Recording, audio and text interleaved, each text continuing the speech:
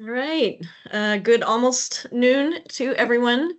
Uh, today, we're very happy to have you here. Uh, this is the DCSEU's first uh, Houses of Worship Roundtable that we've sponsored. You can see from this uh, title slide that we've we've got a lot of partners in in this, and a lot of them are here to speak with you. And we'll get deeper into all of that uh, shortly. But I just wanted to take a you know to do a quick uh, welcome to everyone, and I'm going to hand it back to Kaylin right now to do a little bit of um, housekeeping on, on our side to make sure everybody knows uh, the expectations of the roundtable, and then I'll be back. Yes, yes. And again, my name is Kaylin, and uh, this is just just some of the little expectations that we have here. There will be two Q&A sections um, in at this event here today, and uh, totaling about 40 minutes, right? So if you have any difficulty uh, posting to the chat. You can post to the chat while the presentation is going on, but we will answer those when we get to those two two Q and A sessions. There's going to be a midpoint and ending Q and A. So this is the chat here. I'll just say I'll put this is chat just so you all can see it. So if you have a question that comes up during the presentation and you don't want to forget it, um, please feel free to post in the chat and we will address it in the order that we receive it. Um, and you also have the ability to voice your own questions the way that I ask that people do it. And I'll remind you guys of this as we get there too. But it's just to raise their hand and I'm raising it up and down. And then I'll give you a shout and you can come on, come off mute and ask your question.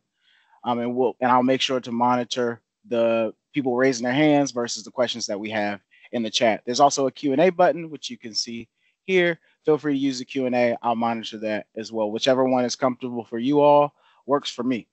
So we are going to be recording, as you already noticed, we're recording through the session today. I just want to call out that even in the Q&A, we will be recording it. However, we will be taking that recording out um, when we post the recording online of the Q&A section. The presentation will remain in its entirety, but your Q&As will remain private just so you guys can feel comfortable with sharing uh, things about your buildings. Perfect, perfect. And I think that is all uh, and if you have any technical difficulties, please do shout out in the chat. All righty. And with that, I'll pass back to Patty to go through the agenda. Again, uh, welcome everyone. We've got uh, a lot of information for you today and uh, hopefully a lot of help uh, to to get you on track uh, with benchmarking and and BEPS specifically in the in the district. Uh, we have Ben Burdick. He is our senior director of operations here at the the, the DCSEU. He'll give a little bit of background on what we do here and and and and goals and, and things like that uh, about the DCSEU. I believe Antonio is on the call. I haven't seen him yet, but from DOEE, uh, uh, he and Mark Erickson from the DC Green Bank are, are here to support you. If you have questions for DOEE or the DC Green Bank, uh, they won't be doing, uh, you know, they won't be included directly in the bulk of the presentation, but they're here to support you. Um, after that, we'll move into uh, Yolanda, who's going to speak about the Building Innovation Hub and give a, a, lot of information about benchmarking and BEPS and deadlines and things like that. Um, at that point, we'll have a midpoint Q&A, and then we'll pass it over to Maddie, and they will be going over the um, the the uh, the offering that they have from Interfaith Power and Light uh, to support you in your benchmarking needs for houses of worship. Um, after that, I'll pop back on with my uh, partner in in uh, in what I do here at the DCSEU, Crystal McDonald, to talk about the offerings for um, for multifamily buildings that we should have removed there for houses of worship. Um, and then we'll have a Q&A. So we're really looking forward to kicking this off with you. There we go, houses of worship. Um, and we're really excited that you took the time out of your busy days uh, to spend with us. So with that, I will now hand it over to Ben Burdick, our director, senior director of operations. Thank you, Patty. Hopefully everybody can hear me okay. I'm really excited to have everybody here today. Um, we've done these roundtables for a number of years now, uh, led by uh, Patty um, uh, from our team, Crystal McDonald from our account management team, uh, and the Building Innovation Hub, among others. Uh, have supported these across the board for many different building types. Um, so really excited to have um, houses of worship be, be a roundtable today. Um, these offer a great opportunity for us to uh, share information and resources uh, with you, and also an opportunity for you to um, hear from your peers about some of the things that they're doing, some of the, the issues that they're running into. It's a really great opportunity for peer sharing as well. So really excited uh, to have you on, on today. Uh, really excited to have the Building Innovation Hub, Interfaith Power and Light, uh, the DC Green Bank, and of course our client, the District Department of Energy and Environment, uh, all participating today. Uh, and uh, I will let uh, Kaylin go to the next slide, please. So a little bit about the DCSEU. Um, we began our work here uh, in March of 2011. And really, the DCSEU is pretty unique. Uh, and, and I have to call out the district for some of the, the really great forward thinking they've had with, with creating the DCSEU. Um, it's really designed to make energy efficiency, clean energy more accessible to every person in business in the district. So we really serve as both a financial and technical resource, um, learning opportunities, expert hands-on systems, and, and, and again, that vital financial support to help uh, help communities, uh, help buildings save energy, save money, meet their uh, sustainability and climate goals.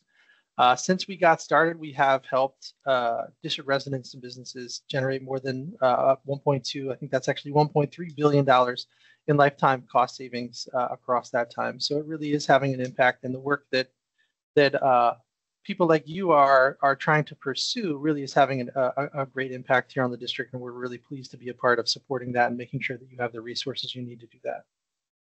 Next slide, please. So in terms of the DCSEU goals, again, I say the DCSEU is, is really unique in terms of energy efficiency, clean energy programs in the country, because not only are we here to um, help you reduce your energy costs, reduce energy reduce greenhouse gas emissions, but we also have um, a social component to a lot of the work we do. We want to make sure that district residents are benefiting from the work that's generated here in the form of green jobs. We want to make sure that local uh, contractors and local businesses are benefiting from this work happening. So we work really closely with certified business enterprises wherever we can. We also want to make sure that uh, all residents are having access to the benefits of clean energy. So we want to make sure that we're investing those dollars in low-income communities uh, for residents that need it need it the most. Uh, combine that also with uh, some goals around uh, uh, renewable energy generation, as well as helping buildings make those deep retrofits, make those deep energy savings where we can to really make a long-term impact on the operations of those buildings. So it's really um, it's really a unique program. Um, uh, I'm uh, I'm really pleased to be a part of this organization for the last 12 years, um, and really pleased to uh, work with um, organizations like Houses of Worship uh, to help help you meet your sustainability goals, help you understand uh, how you can make changes to help you meet those goals. So um, really excited to. Oh, oh, sorry. Let, let me let me take a step back here. One thing we did want to call out. Um, right up front is, you know, starting in FY22, um, really in line with district's policy around uh, the Clean Energy DC plan is we no longer offer uh, incentives and rebates for natural gas projects for new natural gas uh, uh equipment, new uh, fossil fuel burning equipment. But we do still support uh, with technical support and incentives any operations and maintenance efficiency measures for existing gas equipment. So there is still the opportunity to take the equipment that you have in your building and make improvements to the efficiencies uh, of, the, of that equipment.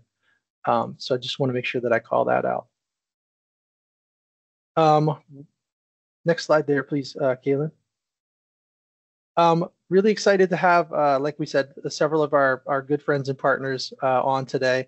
Um, uh, our hope is that this roundtable will really um, help you understand the resources, resources that are available from a technical support and financial support perspective across the district as you look to comply with some of the requirements that are in DC, whether that be benchmarking or building energy performance standards, uh, really to understand how your building uses energy and then support your efforts to make improvements to reduce energy use, meet your sustainability and climate goals, um, and you know help help to help you continue to serve the important role that houses of worship serve in, in terms of serving the community.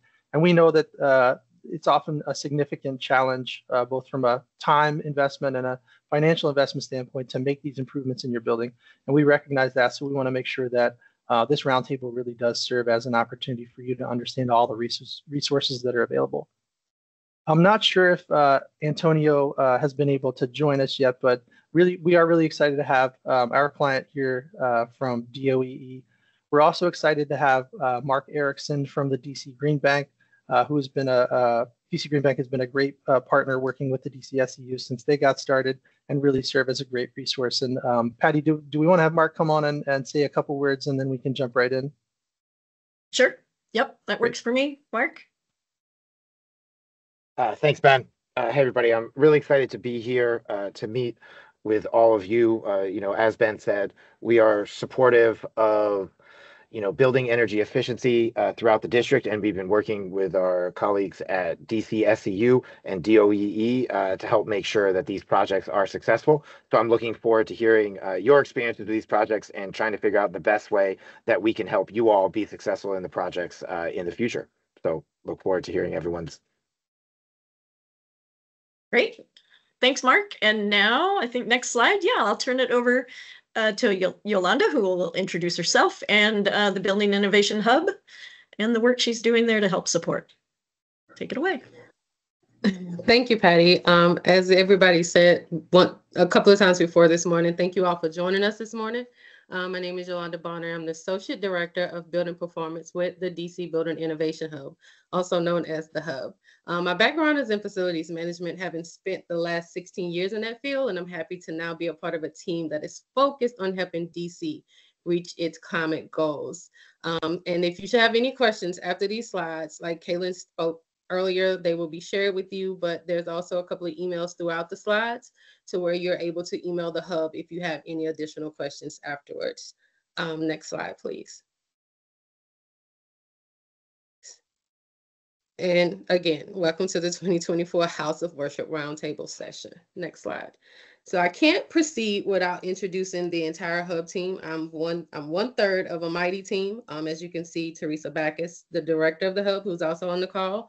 Um, Mary Thomas, she's the associate director of the Building Innovation Hub. So anytime you email that email address that's associated with these slides, you're going to hear from either one of us. And we try to do a quick turnaround time because we like to provide that type of service, but you can get us at any time, anytime you have any questions or answers.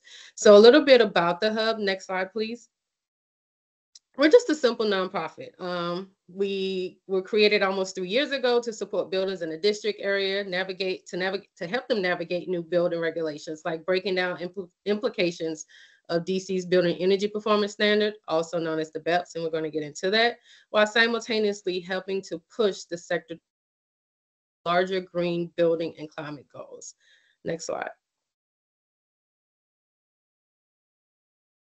So what is BEPS? We're just going to jump right on into this. A lot of we so we did take a look at some of the um, pre questions, um, pre-registration questions. We noticed that a lot of you wanted to know what BEPS is, what does it involve. So we decided to go ahead and implement this instead of just jumping into third-party verification and benchmarking. So a little bit about um, what exactly BEPS is. Simple, a regulatory tool that the district is using to help meet these green building and climate goals. The BEPS is a set minimum threshold of energy performance for existing buildings. These thresholds or standards, as some would like to call, are based on and measured against a building's demonstrated energy performance, also shown in their benchmarking data. Under BEPS, the district aggregates individual building performance information per property type to establish a standard for the building type to meet. The standard for each property type is the median energy performance. So for example, median energy star score for all building types of that property type if your building is performing better than the median for a multifamily housing, you're not required to take action under the BEPS. Buildings that do not meet the standard for their property type are required to improve their performance over the course of a compliance cycle and demonstrate the accomplishments at the end of that cycle. And you're going to see another slide later on through this where we talk a little bit, a little bit more about the compliance cycles themselves. Next slide. So people are asking why building performance standards? Why the BEPS? We spend about 80 to 90% of our time inside of a building, and we believe that better buildings improve lives. Therefore, everyone deserves to live and work in a high performance building. There are great opportunities to support the community and their priorities by increasing the chances of public health, housing affordability, economic opportunity, and an equi- equity-centered approach for reaching those priorities. The BEPS is a powerful tool for the climate policy. And in the US, buildings are the largest greenhouse gas emissions contributor. 40% of total energy related to emissions is tied to those buildings. US climate commitment to reduce greenhouse gas emissions 50 to 52% by 2030. Impossible to meet climate commitments without addressing existing buildings. Next slide, please. And so how most people ask, how does this relate to DC? So this is how the BEPS ties into DC's goal. And when you're thinking about DC and their goal to become carbon neutral, well, the district has admitted to reducing citywide emissions by 60% by the year 2030 and 100% by year 2045. We know that's really ambitious and, and, and trying to become carbon neutral, but we actually feel like we can do it. We're like the leading leading city across the nation right now with the BEPS, and we're doing pretty good so far. And over 70% of the district's greenhouse gas emission reducing the amount of energy used in buildings, especially in our existing building portfolio, is paramount in order to achieve these goals. So this is why we're linked. The this is why part of the building energy performance. We want to meet these goals. We want to make sure that not only are, your, are the streets safe, but the buildings that you spend most of your time in are safe. Next slide, please. So now that we've spoken to how the BEPS ties into DC's climate goals, we're going to get into the discussion of who does BEPS apply to. And in the district, large building owners, buildings 50,000 square feet or greater, have been benchmarking their energy and water performance for over a decade. Buildings 25,000 square feet and up have started benchmarking in 2021. And results from that first year are now available on DC's website. We have that link down um, in the bottom for you, and I'm going to go over those links too. So I know a lot of this is going to be, is a lot to wrap your head around, but I did think ahead and try to include some of these links to make it easier for you when these, shot, these slides are shared with you. So um, BEPS have size-based timelines. So if you can see, if you take a look at the illustration, cycle one, which is the cycle that we're in right now, affects private buildings 50,000 square feet and larger. Cycle two, which starts in 2027, will apply to private buildings 25,000 square feet and larger. Those are buildings that started benchmarking in 2021. And then cycle three, which is which is set to start in 2033, will apply to buildings 10,000 square feet and up. Cycle one affects over 1,600 buildings, half of which need to improve performance. With cycle two, that number jumps to over 5,000 buildings affected as the size threshold drops. So if you take a look at the drawing, it simply illustrates what I just spoke to in more detail. And again, these slides will be shared with you, but you can clearly see how each building and each building size, where they are in this particular cycle. Next slide, please. I mentioned the compliance cycle earlier, and we'll take a, and, and so now we're going to take a look at another illustration that counted that more clearly depicts where we are in this um in this certain in this BEPS compliance cycle one. Um, we talked about the DC BEPS, who it applies to. So now let's talk about the when. And this cycle lays out the when. Here you can see that the cycle itself started in 2021, as I mentioned before.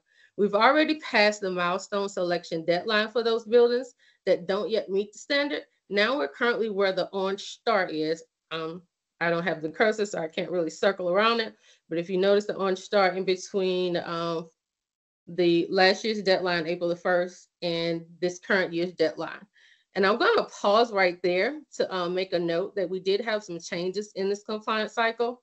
Um, the initial deadline for this year, the benchmarking data was set for April the 1st of this year, but it was actually voted and we got an extension to move it back to July the 1st. So right now we have two weeks left from all of the buildings that are required to provide their benchmarking and data verification to submit um, their information to DOEE by July the 1st. And I can tell you there's still quite a few buildings on that list that have not, um, we have not been able to contact and get in contact with to let them know of this process. Um, but back to the slides. So we're now, again, where the orange star is, which is considered the implement implementation stage. Everything needs to be installed and operational by December the 31st, 2025 for a year of benchmarking through December the 31st, 2026. With the end of this current compliance cycle being that same day, The district will then review and evaluate all data from buildings and determine if any enforcement is necessary. The next cycle starts the same date as that. There is an atypical year overlap because of a COVID delay built into the first cycle. However, it's important to note that for the next cycles, the district will reevaluate updated aggregated building performance and likely raise the level of performance for the next cycle of BEPS. Next slide, please. So this compliance cycle is just another basic overview of what we just went through. And we just kind of wanted to make it laid out in more simpler terms to get you to understand and see where we currently are in this compliance cycle phase. Next slide, next slide, please. So I spoke to compliance pathways earlier, and there's a lot to wrap your head around when it comes to the compliance um, pathways. I totally believe that um, I, when it comes to the BEPS, and, and I also am new, so I do speak the language of everyone on this call. I feel like giving you guys a glimpse of the entire pie instead of giving you a piece of the pie so that when you are engulfed in BEPS, you know exactly where you are. You've seen this before, you're familiar with it, you understand this process, and you can move forward. So the compliance cycle is is definitely a lot to wrap your head around, but for builders that do not meet the standards, I won't go into a lot of details here, but I would like to highlight that the pathways options are created with flexibility in mind.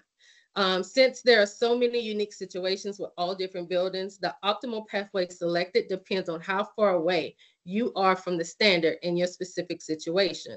Since we're already past that first compliance um, pathway selection deadline, which was April of last year, I can say now that I was told that there were five five houses of worship that um, had to choose a pathway. And out of those five, four chose the performance pathway and one chose the alternative pathway. So um, again, there are links in here. If this is, if I'm going too fast, if it's still not, a, not a lot of time to wrap your head around it, I'm going to cover those links towards the end. Um, next slide, please. So the next cycle, you meet the BEPS. Congratulations. You don't have to do anything, but what you do need to do is think ahead, think long term. And here we just dropped a few sentiments to help you kind of guide you on your way to continue to be successful or to become successful and be prepared for the next cycle. Again, it's thinking long term, future proofing. How to how close are you to the standard? Where are you in your capital improvement cycles? Are you considering electrification? Factor in your tenant turnover. Is your benchmarking data verified? Have you had a level two energy audit? Do you have a team of experts and consider energy savings before BEPS cycle two? Next slide. So um, before I do proceed, again, I do want to make note that there have been quite a few developments in this um, BEPS process. You have the BEPS, BEPS task force, which includes a multitude of just a makeup of building owners, managers, industry organization, contractors. Anyone can listen in on these calls. They used to be every two weeks. Now I think they're down to quarterly. I did not include a link for that, but um, I will get with Kaylin at the end of this slide to include a link with that. And possibly you can get registered to know when those task force calls are coming up so you can join in and listen in on those calls. Um, the extension and flexibility. There's one-on-one support from DC DOEE to extend interim deadlines created to create custom compliance pathways and correct data errors. So I, I like to tell everybody that I come in contact with, talk to DOEE, stay in communication with DOEE.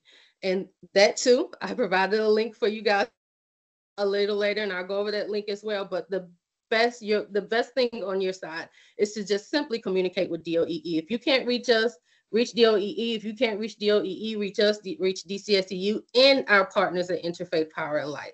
And then you have changes to BEPS based on stakeholder feedback from 2024. Alternative compliance, um, I'm sorry, alternative compliance, I'm trying to blow my screen up. Um, alternative compliance penalty, alternative compliance payment, um, my screen is, yeah, I'm a little blind over here, so I'm struggling.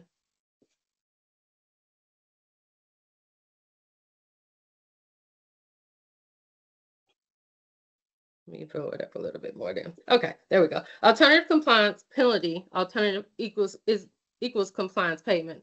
Creating a whole cycle exemption for financial distress for vacancy buildings, the baseline period. Adding language that specifically confirms that mechanical and electrical upgrades made in error to comply with BEPS are exempt from storm, stormwater regulations. Stream and streamlining the third-party verification process for future years. Um, those are just some simple changes that have been in discussion between the playmakers here. And if you sign up for the Hub's newsletters, DCSEU's newsletter, or Interfaith Power and Light, you'll always stay, you'll always be in the know of any changes that comes along with the BEPS. Next slide, please. So now we're going to jump into um, our third-party benchmarking and data verification. We're going to talk about best practices, how it's done, and its timeline. I do want to stop right here and let you know that what I'm going to discuss as it relates to the third party benchmarking and data verification is the actual process and what it is and how, how it's brought up and how it's made up and how it ties into BEPS.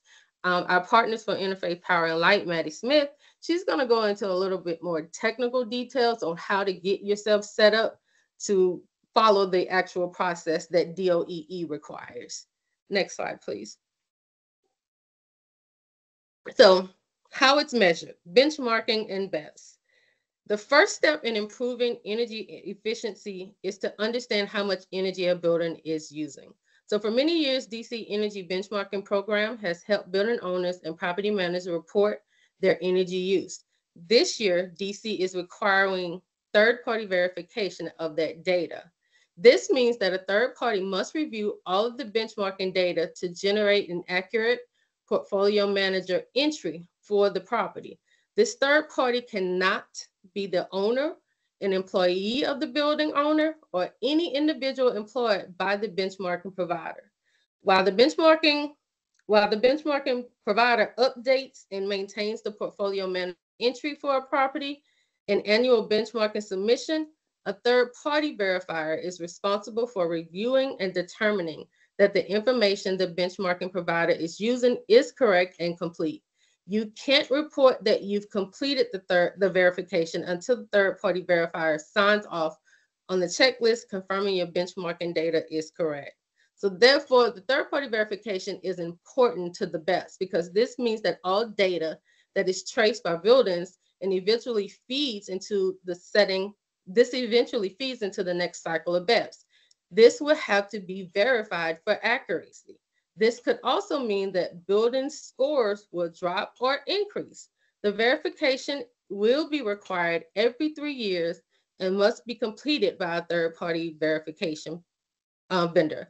So um, simply put, when we when when the building verification requirements first came on, there were a lot of individuals saying that we we we done this, we've done this yes, you've done it and you've done it during the what I like to call the off season or the low peak season.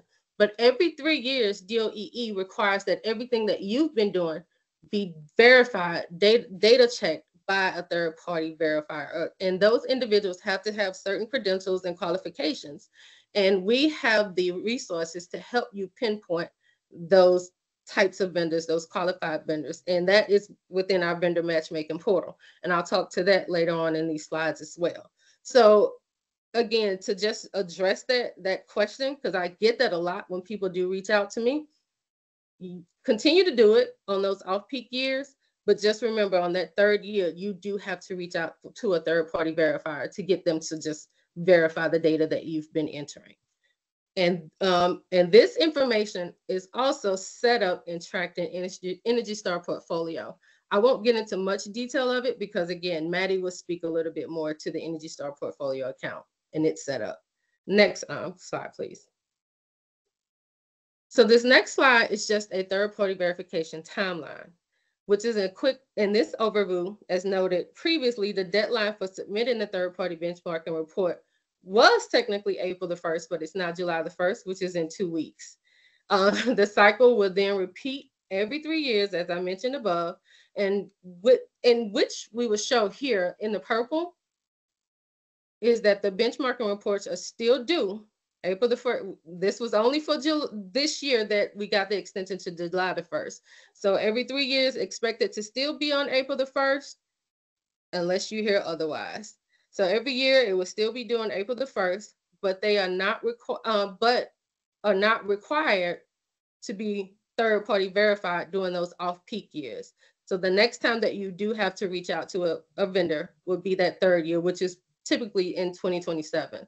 A point of housekeeping, the timeline on, on our website looks a little different due to orientation, but the information here is still the same. And there's a link for that as well that I've um, included for you guys. Next slide. Here's just a more in-depth um, look at the data verification process. It talks about the different steps to take to make sure that you are successful when completing the third party verification information. Um, you can see here we do, we have a um, scope of work on the Building Innovation Hub's website that you could always tap into and it's free. Or you can use the scope of work that's tied to your Energy Star portfolio account. Um, just make sure that you're, you're providing the correct documentation to Energy Star um, portfolio account. Make sure everything lines up, make sure everything makes sense. And then your next step is if you feel like you're off somewhere, if you've been told that you've been off, or if the vendor tells you you're off, make sure you go in and do data correction because that is a big determining factor of your building score. Again, once all those updates have been made, check in with the verifier, have them certify the data, and then submit your report to DOEE. Next slide. And this too is just another simple step, just more defined without all the details on how to, t- on what you can take to be successful in this third party and benchmarking data verification process. Next slide, please.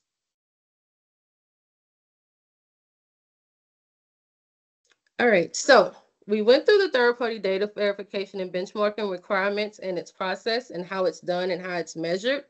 Um, I didn't get into too much technical details. I'm going to leave that up to Maddie. So now we're going to end this with our last subsection, uh, which is pretty much um, FAQs and guys, just additional resources for you guys to be able to tap into, to tap into, um, to make sure this process is successful for you. Hello? You're still here. You're still on. Yes, the screen went blanks. I can't see anything. Uh-oh. Is anybody having trouble seeing my screen? No, I can see your screen. I'm Kaylin. Um, but I think she's right. Just some of the people are empty and blank.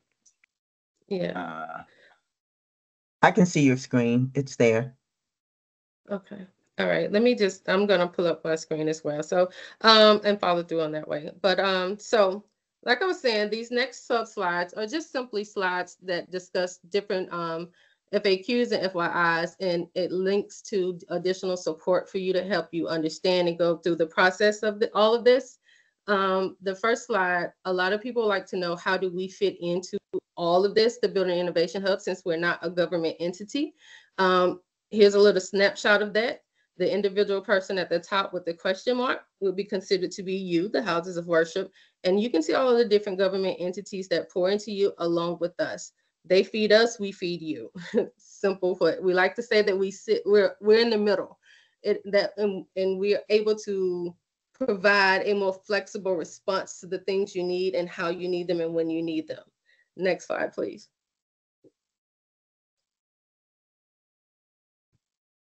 And this slide here just talks about a little bit more technicality of what we actually do here at the hub and the next slide, please.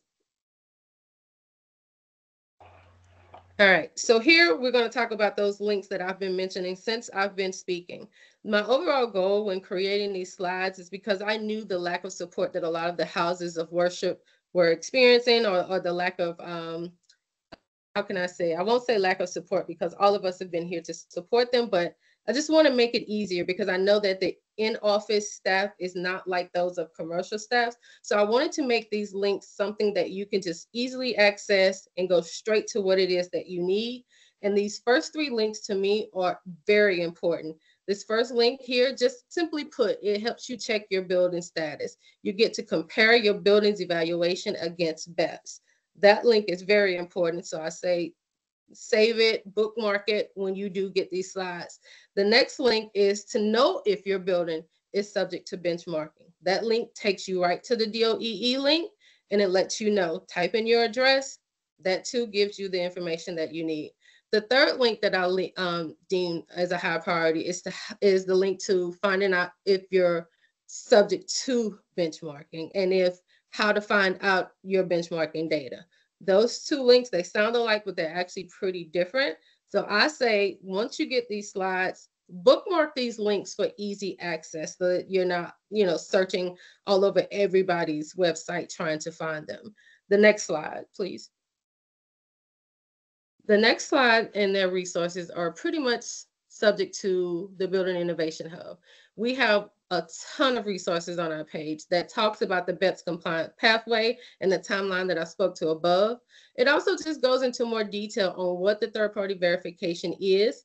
We have that scope of work that I mentioned that's free of charge to you. So if you want to use that to do, get your verification work done, you can. We also have a how-to guide that's easy to understand and kind of helps you move through the flow of all of this. And then there's a guide on understanding the energy audit. Um, our Finder vendor portal, which I like to call our baby here at the Hub. This has made it easy for us to connect you all with the vendors that you need to get your third party verification work done. Once you click that link, you fill out the form and it comes directly to us and we begin to make that match for you with the vendors.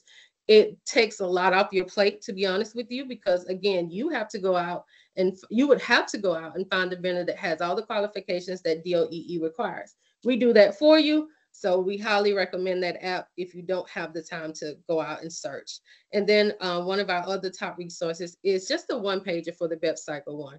It kind of goes over everything that I talked about early on in BEPS and what BEPS is and the current cycle that we're in. Next slide, please. And our final resource page are those helpful links from DOEE. DOEE has their help, help desk and knowledge base um, page. They have a building owner portal. I suggest everybody goes in, click that link, go in and get themselves set up because it's easy access to communicate with DOEE. Um, and then DOEE has their has a language as well for benchmarking and third party verification. And they also have language for building energy performance, also the BEPS. So these three slides here, um, I put my heart into them because it's something that I know would actually help you guys. So I hope that again, you take all these links, you save them, you bookmark them, and use them for future references. And with that being said, um, I think now we're gonna jump over into our first Q&A. Thank you for having me. And again, please reach out if you have any questions. Hi, everyone. It's really good to be here with you all. Um, my name is Maddie Smith. My pronouns are they, them, uh, and I am with a local nonprofit called Interfaith Power and Light, uh, where my title is Clean Energy Shepherd. Um, and basically, what we do, Interfaith Power and Light, is a multi faith grassroots organization and we work with congregations across the DMV on of all different faiths um, to help them speak out, uh, go green, um, and also learn. We believe that you know everyone's faith tradition has a lot to say about uh, caring for your neighbors and caring for creation um, and the environment, and so that's we really help congregations live into their uh, values around that. And we do everything from, uh, you know, faith-based advocacy in the DC Council um, to, you know, me talking one-on-one with congregations who might be interested in solar or, uh, you know, need a heat pump um, or want to know about benchmarking um, and BEPS. Uh, next slide, please. Okay, so here's just a couple fun pictures from our work. Um, one, uh, so just to describe some of our work outside of, of BEPS and benchmarking, one thing I do a lot is coach congregations through the solar process. Um, and because, you know, solar is so lucrative in DC, we have probably many congregations on this call who have solar. And so we have a map on our website celebrating all of the different uh, solar houses of worship across the region. Um, and I just wanted to, to show folks because uh, it's pretty cool. We also, uh, you know, this the picture next to it is of our light switch reminders that we would be happy to send to anyone's congregation for free um, to help. And we have, you know, different sayings that go with different faith traditions.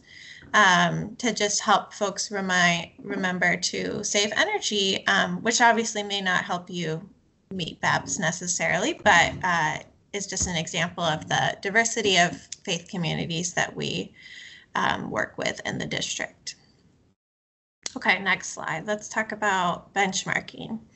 Um, so in my, so our, my organization has been supporting DC Houses of Worship with benchmarking since 2022, um, which was the, the first year that, um, or I guess 2021 was the first year that congregations bigger than 25,000 square feet were required to start benchmarking.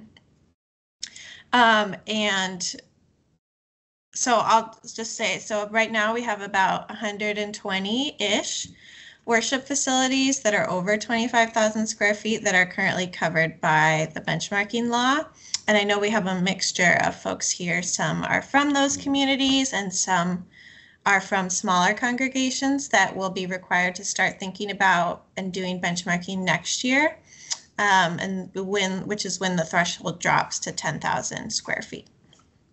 And I'll just say for folks that are on this call who are either, you know, just learning or just focusing on this July 1st deadline and you think you're covered or, um, you know, we've been emailing back and forth about it, please don't stress out too much. It is two weeks away and I can help you get through it. We can get through it. I don't want you to stress too much about it, but if you're covered, we do need to start rolling on it. Um, I'm working really closely with DOEE, um, and they know that, you know, it's going to take a little while to get some of our houses of worship across the line, but that we need to definitely start that process as soon as possible.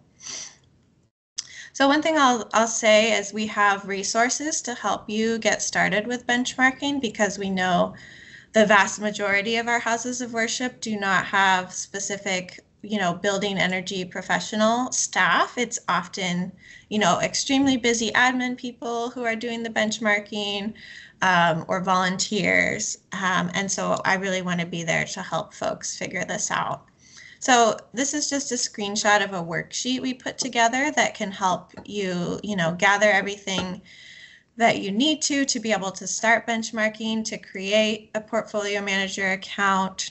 Um, and I, if you email me, I can definitely send this to, to anyone who's interested and it can just help you get started with it.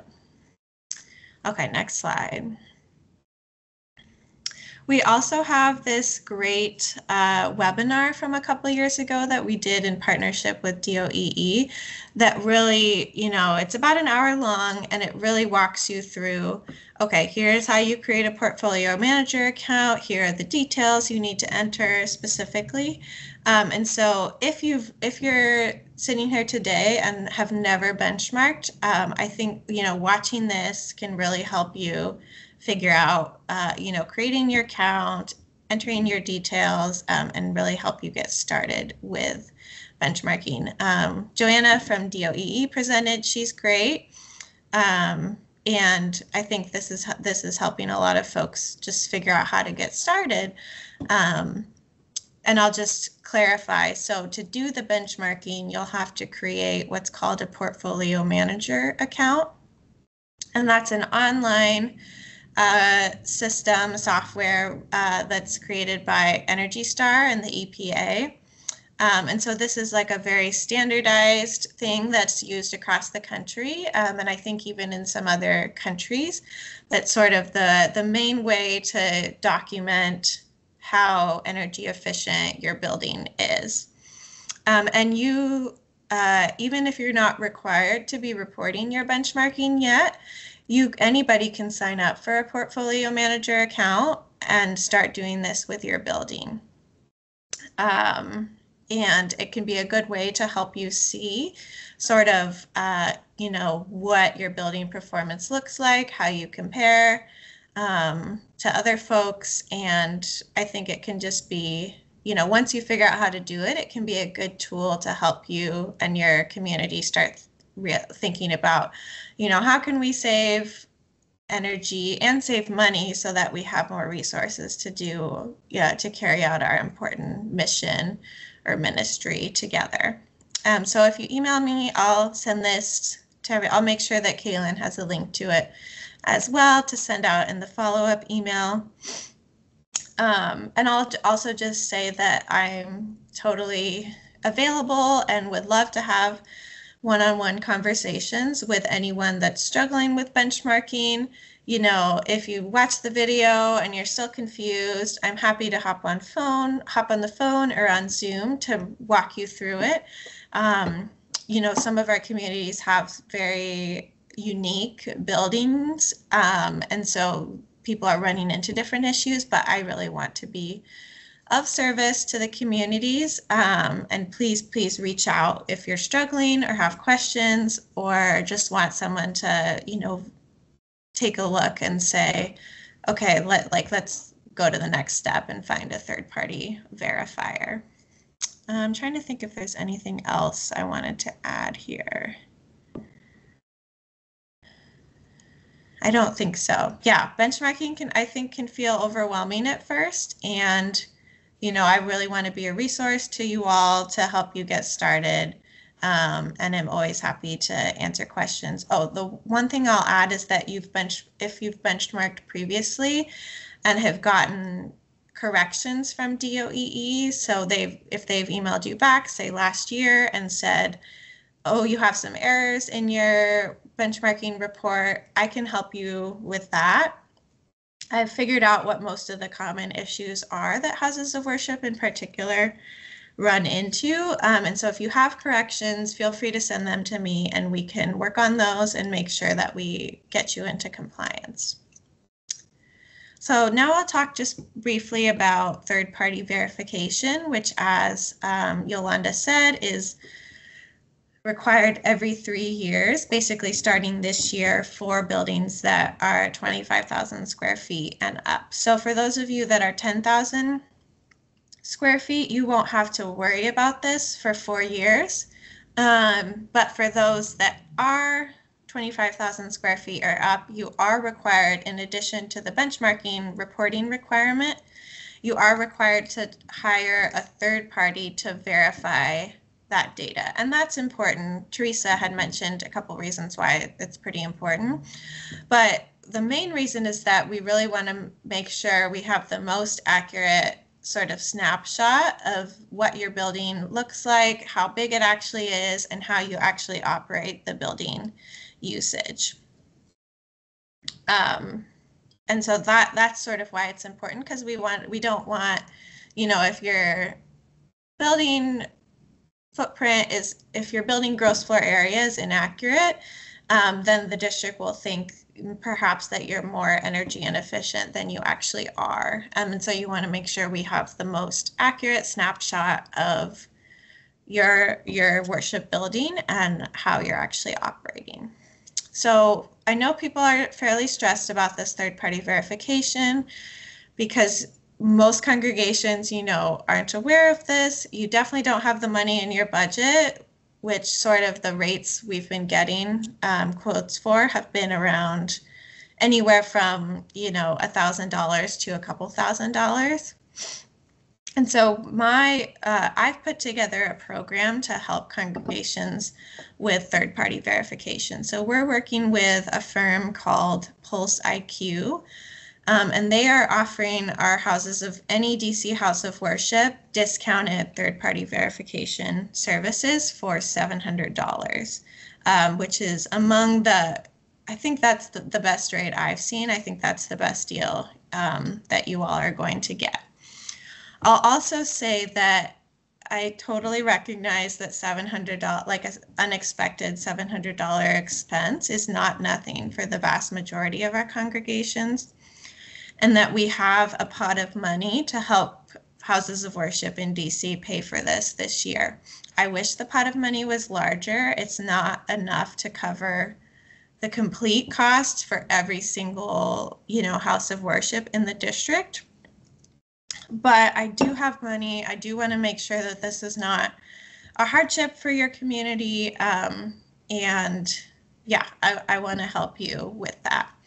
And I'm hoping, you know, to put together a similar program in future years uh, to help houses of worship pay for this, um, particularly when the threshold goes down to 10,000 square feet. And we know, and I know most of those communities will have smaller budgets, um, and so the impact will be even greater. So just to say again, um, you know, I also in exchange for this discount that Pulse PulseIQ is able to offer, I'm doing a lot of the upfront admin work, like talking to folks like yourselves um, who are working on this in their congregations, gathering all of the documents. Um, the main things that folks need to be able to do the third party verification is um, copies of your uh, electric, water, and gas bills um, for the uh, for all of the meters that your building has. Um, if most have probably one for each, but some have two or more, depending on um, what your what your building actually looks like. And again, one of the things we're discovering is that um, you know, determining the exact floor area, what's called gross floor area of your worship building, um, is really important. And I'll also say that so one of the all things to also consider that we want to make sure is as accurate as possible is uh, the how you use your building. So when you create a worship facility, you know, when you input a property into Portfolio Manager and create, uh, it's called worship facility usage. Um, that's like the default usage of your building, but we know that so many of our houses of worship are also serving their community in other ways by having nonprofit tenants that may be, you know, daycares or preschools or like a K through 12 school, or even I'm working with one congregation that has a medical clinic in a large portion of their building.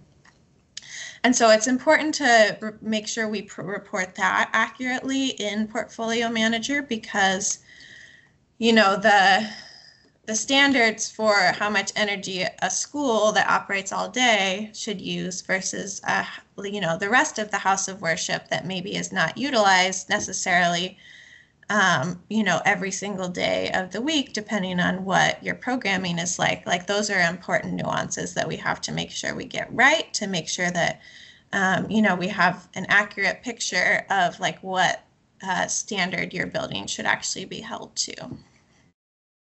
Okay, next slide.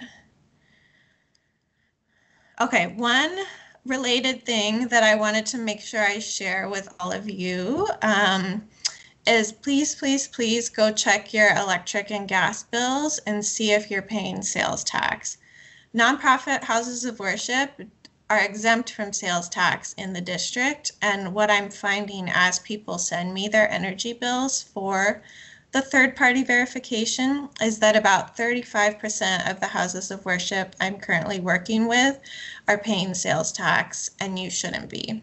Um, and in the case of this is just a snapshot from uh, one congregation's bill, you know, and this is a larger congregation, I'll say, but they are paying you know, one month of their Pepco bill, they were paying, you know, over $200 in sales tax. And so that's also something I can help you with if you take a look at your bills and discover, oh my gosh, we are paying sales tax.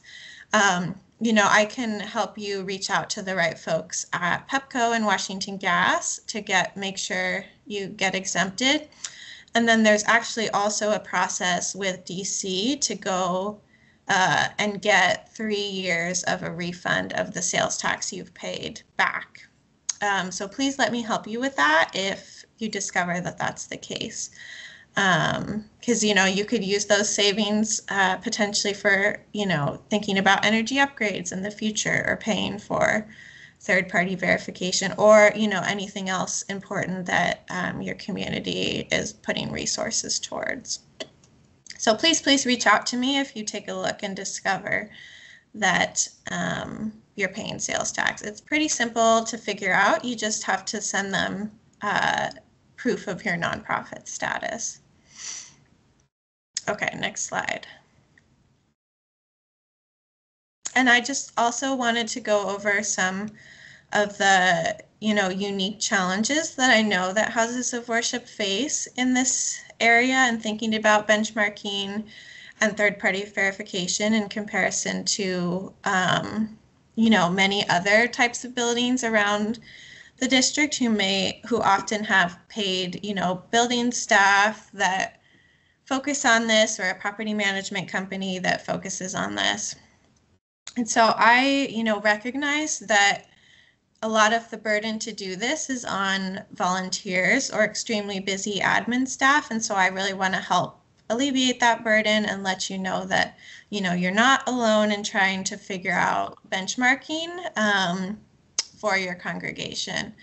And so I'm talking to volunteers, particularly now as we get closer to the deadline, like yourself, um, to figure, you know, figure out how to get folks into compliance um, and make sure that we're reporting everything accurately.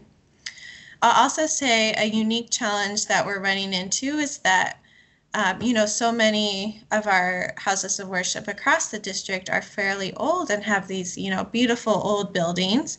Um, and they don't always have, they're not always able to find the architectural documents or blueprints that we need to be able to verify you know how large their building actually is because the numbers we know that the DC government has that where they like think this is how large your building is are often not very accurate. Or even if they're off by just a little bit you know that's still important to make sure that we're reporting you know how energy efficient your building actually is accurately um, so one of the things i've been doing is if this is you um, I can look through public records and just see what I can find. It's a fun, fun skill I've developed in in doing this work. And if you've had, you know, a renovation or a solar project or some like any of that, some of that stuff is often available, and we can I can try to find it for you all. And then again, to just briefly reiterate you know, I recognize that our houses of worship have pretty unique building usage and everyone is different, and we have to make sure we report that accurately because so often, for a lot of them, you know, the entire building usage is not necessarily considered house of worship. We have to allocate the specific square feet. Um, you know, if you host a school in part of your building or uh, a preschool, like those are important things that we have to take into account and then also recognizing that you know none of you are for-profit companies that have you know a ton of extra money laying around in your budget to pay for this. And so that's also where i really want to be of service and to make sure because we know that the district's houses of worship they want to do their part in meeting the district's climate goals um, and are often sort of leading the way in their communities in terms of thinking about you know green solutions um, or you know proudly displaying solar on your roof and that i really want to make sure that you know complying with this law is not a burden for you all. Okay i think that's everything i wanted to say. So yes please reach out to me. Um, i'll also just say that if you're in the 10000 square foot you know range and are just now thinking about this like you don't have to wait till next till the end of uh, you know you don't have to wait till april 1st 2025 to do your benchmarking. You could start now and like you know every month when you get your energy bill you know just enter the data. Um, and so like that's an easy that's a way that you can get started and make sure you don't have this you know big stressful burden. Um, i don't want anyone to stress but make sure that you know it's a little easier on you so yes please call me please email me i want to be of service to you all and yeah really glad to be here with you all and thank you so much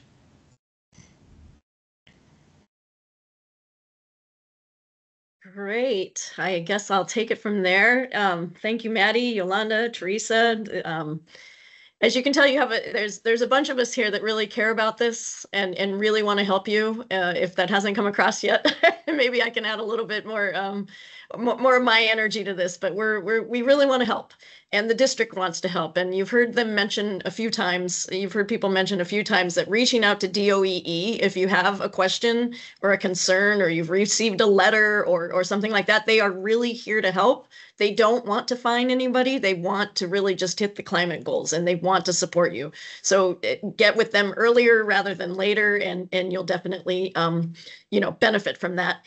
Um, so my name is Patty Boyd. I, I came on at the very beginning. Um, my, my, I'm Director of Technology and Innovation at the DCSEU. I've been here uh, for 11 years now, and um, my job is to figure out the, the, the, the, next thing that the DCSEU is going to do um, in terms of technologies and, and things like that. Um, uh, also, uh, Crystal popped up. So Crystal McDonald, she'll be doing uh, the second half of our DCSEU presentation, our Director of Account Management and Workforce. Um, but with that, uh, you know, I'm I'm here to try to help you navigate our programs and services. So if you find yourself in a position where you must make improvements, or you are simply just um, going out and trying to do get you know have your energy use go down or you know you've reached uh, maybe the end of life of a, a piece of equipment uh, that we do have rebates and incentives available for you. Uh, and I'm, so i'm trying to uh, this presentation will help help uh, guide you through that. Uh, crystal would you like to add anything before we start our part? No i think you're fine patty. Thank you. Okay. Next slide please. So um, we have uh, different offerings that we have at the DCSEU. We have a whole section of our offerings for affordable housing, um, shelters, clinics, things like that. Um, when it comes to to houses of worship or you know other types of market sectors, we call those uh, rebates and incentives our market rate offerings. So houses of worship are included in our market rate offerings. Uh, that's just kind of the terminology that we use in in our um, in the world of uh, of energy efficiency. Uh, next slide, please. So this this slide is is relevant uh, if you if the houses of worship owners manage their own appliances. So it's in the residential. That's why I have it in quotes here. Rebate section. That's really our efficient products. So if you're going to put in a, a, new heating system, again, Ben Ben mentioned in the beginning that we are not incentivizing new boilers, furnaces, things like that. But if you're going to put in a heat pump um, for heating and or air conditioning, there's a rebate for that. Uh, if you have to replace your water heater, uh, there's a rebate for that. De if you're doing putting in a dehumidifier or washers or dryers, or you have electric lawn equipment, um, there's rebates for that. Or the refrigerator in your in your um, in your um, in your lunchroom or or wherever you you might have a, a cafeteria or something like that. Uh, we offer rebates for that. Um, so it's it's pretty simple. Uh, like just as as it's called a residential rebate. For example, I purchased a refrigerator for my condo. Um, I go. I had the Best Buy website open on one side. I had the DCSEU website open on another side, and I took the. I found a refrigerator that I liked, and I took that uh, model number, and you can look up that model number on the DCSEU website and see if it's eligible for a rebate. Um, so you you know you you turn in your receipt and then we send you um, the, the, rebate. And it depends you know three set the first one there the 375 to 700 it depends on the efficiency of the new piece of equipment that you are purchasing. Um, and all of the equipment must be qualified. And again the qualified lists are on our website. Uh, next slide please so then then we move into what we call our commercial rebates and incentives. This is for larger, like on a larger scale. If you're um, if you're working with a contractor to install energy efficient equipment, um, if you have you know food service and vending machines, if you have large HVAC equipment, uh, if you have a lot of lights, like you're going to redo the the entire lighting in the facility, um, and you or your contractor can apply for a rebate from the DCSEU by going to our online rebate center, and there there's the link. We also partner with distributors um, in the in the district uh, to provide a rebate to buy down the cost of bulk lighting um, in um, for, but it also has to be qualified. It has to be qualified using the Design Lights Consortium qualified lighting list. Um, and we also have instant rebates through our distributors for um, heat pump, mini split, and heat pump water heaters. So your contractor can purchase the equipment directly from a local distributor and get an instant rebate at that point. Um, and we also have links to to find the list of local distributors on our website. Uh, custom incentives are typically for larger projects. Uh, this is where we we get you and your facility. We have an account manager assigned to you. We uh, have an engineer possibly assigned to you, and we work with you if you're changing out a large chiller or or making you know large improvements that are a little bit unique uh, where the hours of operation might differ from uh, standard hours of operation and we would work with you to figure figure that out um, but it, we have a link on our website, start a project. So if you don't know exactly where you fit, you can click on that and we will be able to get somebody in touch with you to see uh, how we can help. Next slide, please. Um, so I'm, I'm just going to do a couple of examples of, of efficiency measures that you might find uh, in, in your facilities. And, and they kind of apply to most facilities because in the district, the buildings, which is our largest uh, source of, of energy use and emissions, you know, what do we have? We have heating, ventilation, air conditioning, and lighting, right? So those those those apply to smaller buildings, they apply to houses, they apply to, you know, larger buildings. So if you have replaced LEDs more than five years ago, and in my condo, um, I I've, i live in a condo, and when I first moved in, I had a, us replace all the LEDs, and that was ten years ago, and the and and they've lasted for ten years. But now we're starting to replace them with a little bit more ener energy efficient um, technologies. So if you if you got LEDs more than five years ago, there's an opportunity um, for uh, more en energy efficient models, as well as cheaper lighting controls where you can turn things on and off when you need it to be. You can have day lighting. There's there's a bunch of different occupancy sensors, vacancy sensors, sensors. You should possibly consider that. And there are a lot of lighting vendors that will come out and give you a free quote on a possible project. Um, the next thing is installing smart thermostats that it can learn the preferred space temperature and build a schedule around this. I have, I have, that might even be my hand there from that picture. I have um, a Nest, that is a Nest thermostat. I have one in my, in my condo and it's really handy. I can control it from my phone. Um, and it, it does. And When I leave the house, it knows I've left and it, it changes the set points to allow for not cooling as soon as I would want it to cool when I'm there and not heat as soon as I would want it to heat, you know, when I'm there.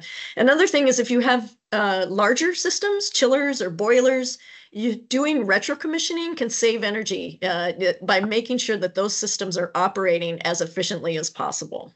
So those are just three examples of, you know, you don't have to go out and change everything, but these are three, you know, relatively cost uh, efficient uh, measures that you can undertake to um, save energy in your building. Next slide. So we also at the DCSEU offer no-cost technical support. Again, it's not necessarily around the benchmarking and the BEPS uh, type work, but on these ener energy efficiency measures. Um, it's possible that we could work with you to review your utility bills and your energy data to see how the building uses energy to try to make suggestions. Um, if you've received quotes, uh, we are, it's possible for us to provide a reality check on, on the equipment, on the design and the claims of energy, you know, what, what they're claiming you would save. Uh, we're kind of a third party neutral uh, opinion to make sure that what they're, what they're saying is happening is correct.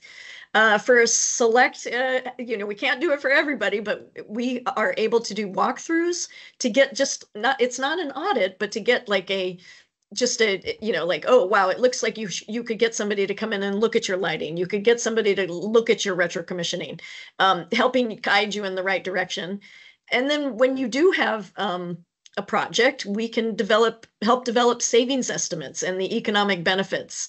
Uh, we use a very conservative methodology, so hopefully it would end up being more than than what we state. Uh, but we can try to calculate the impact of what uh, you know what you what you're going to see, and then at the end, especially on the custom side, uh, provide you with an incentive amount to help offset that incremental cost of adding the more efficient, uh, energy efficient equipment. So that's basically, uh, those are our products that we can offer you, uh, it, which are rebates and incentives. And we'd love to hear from you. We're going to have a contact at the end of the, the presentation that you can reach out to, but you can go straight to our website and click that start a project and we will find uh, exactly where you need to go. And with that, I will turn it over to Crystal uh, to talk about renewables. Thank you, She'll start with- Patty. Yeah, you're welcome. Uh, before I get started, I did see a question pop up about uh, building envelope incentives.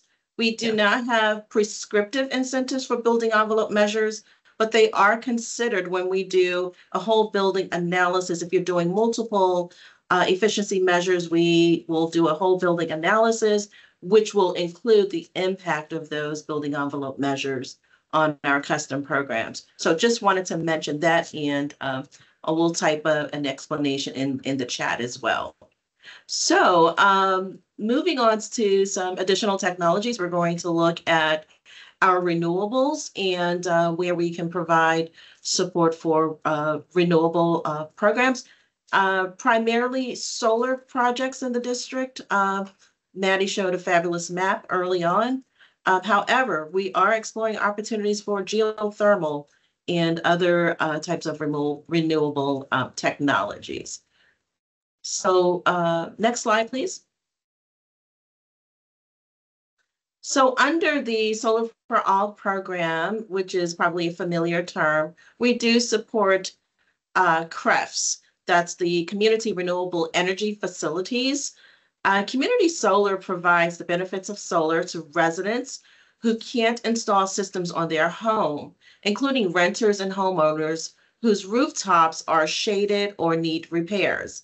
A community solar project is not located on the home, but offsite, and the benefiting household receives a credit on their PEPCO electricity bill each month.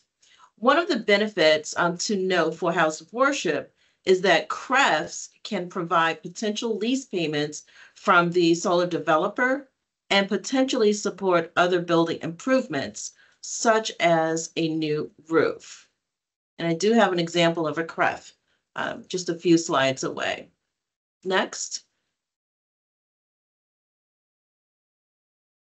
The old, the, the other solar incentive opportunity is on the market rate side that uh, Patty provided a definition for our market rate incentives.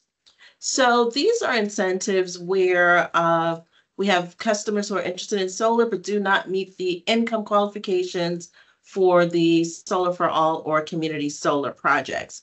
So we do offer incentives for installing the PV systems. Um, and they can be coupled with other energy efficiency upgrades. So you will uh, receive incentives to cover both solar as well as energy efficiency equipment. Um, and again, these uh, incentives are not uh, designed to cover the whole, the total cost of the project, but the uh, the expected amount of solar energy generated per year. So you'll see receiving an incentive based on the megawatt hours um, generated.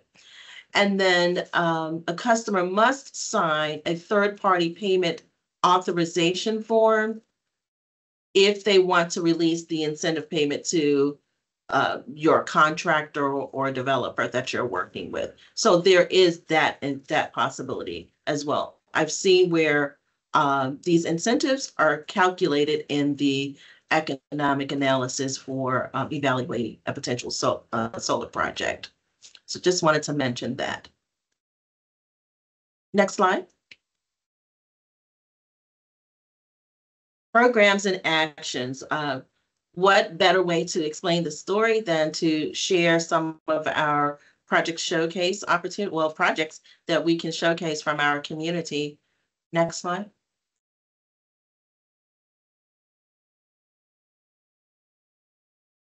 This is an example of a community renewable energy facility.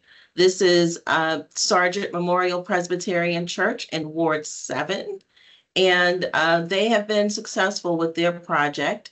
Uh, the church is home to a 256 kW solar project, which provides approximately 73 households with access to locally generated clean energy.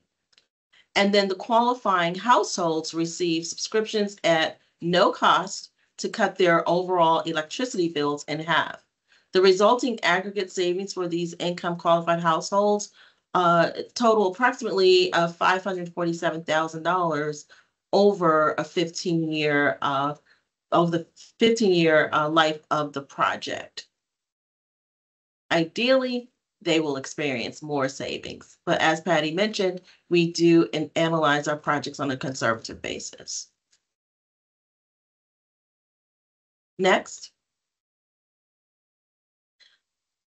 We do offer comprehensive set of energy services available to owners and managers of any large building in DC who are replacing old equipment, renovating an existing building, or beginning a new construction project. It is important to note that the your overall operating hours, a Sunday only versus an, an occupancy throughout the week basis, and then uh, as has been mentioned, equipment efficiency ratings above the baseline or standard code. So this is an example of uh, two different uh, incentives. We work with two different churches on their chiller replacement. And you can see the, the year built, uh, the, um, the equipment that's being replaced, and then the dollar incentive, which are different. And then, oh, and then the annual estimated electric cost savings. So you'll see all the details and the, the differences in details are not just about the equipment, but the occupancy hours, as well as the efficiency rating of the equipment. And so we will give you an economic analysis to calculate the estimated annual savings, the uh, metric tons of GHG emissions, uh, emissions that are reduced. And uh, project A, it's like cons consuming 4,077 gallons of gasoline per year. So we've saved that and removed that from the environment. And then pro project B, it's like consuming 3,616 gallons of gasoline per year. So that just gives you um, a scale of your savings in consumer terms.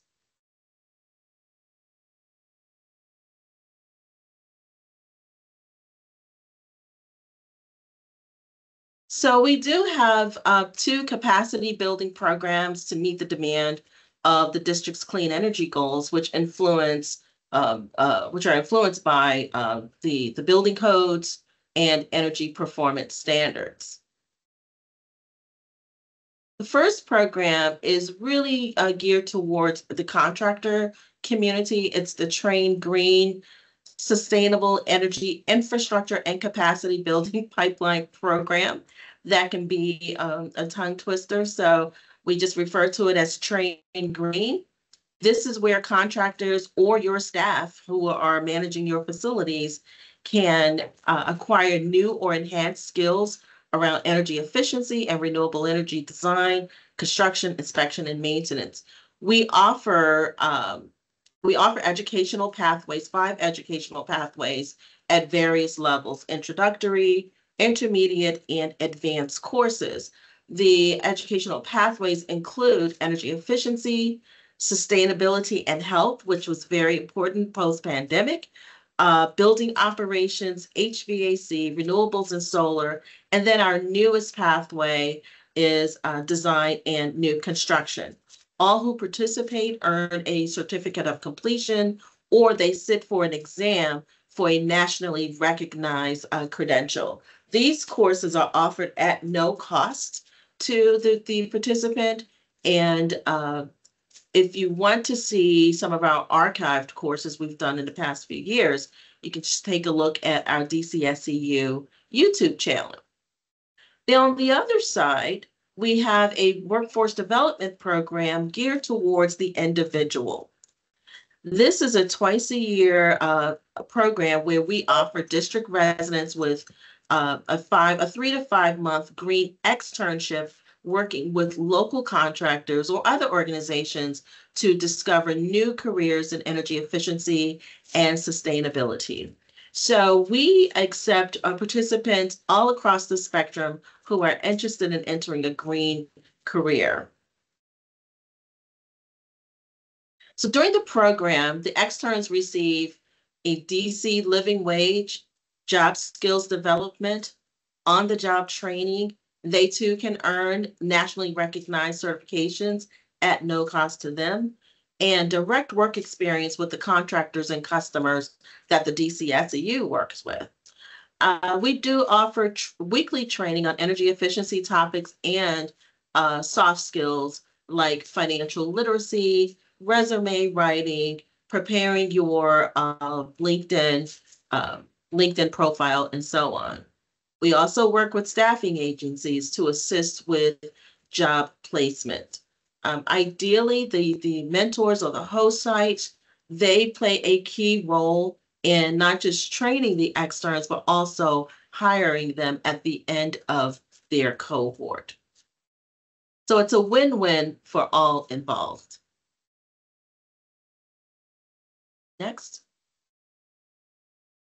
So we've had some inquiries recently and just wanted to make you aware of some other opportunities that have come up recently. Next, please.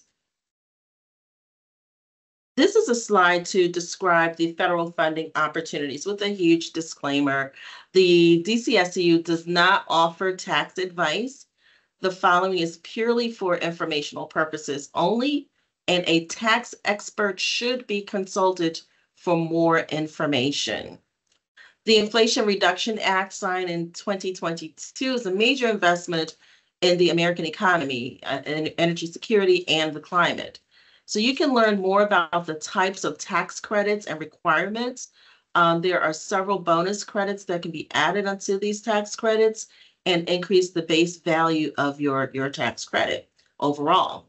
Again, contact uh, the your your CPA, your tax advisor, um, the Interfaith Power and Light. Thank you, Maddie, for being present today.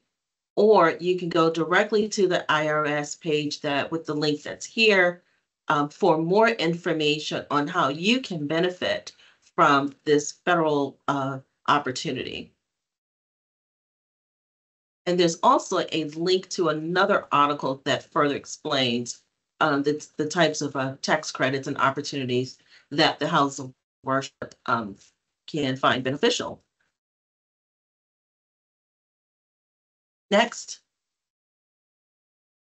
There are some program areas that we did not cover today. If you have any questions, please let us know your concerns. Gabriel Kuna is the account manager who will partner with you to work through our programs and be the liaison with our engineering team. So feel free to book time with Gabriel or give him a call to initiate a conversation about your project. While Gabriel, Gabriel is um, out of the office today, he is represented by Yvonne Coles, his manager. Thank you, Yvonne, uh, so that you can be available to respond to any immediate questions. Uh, but yeah, Gabriel is, is assigned to House of Worship and other nonprofit organizations in the city. So with that said, um, I thank you for your time and attention.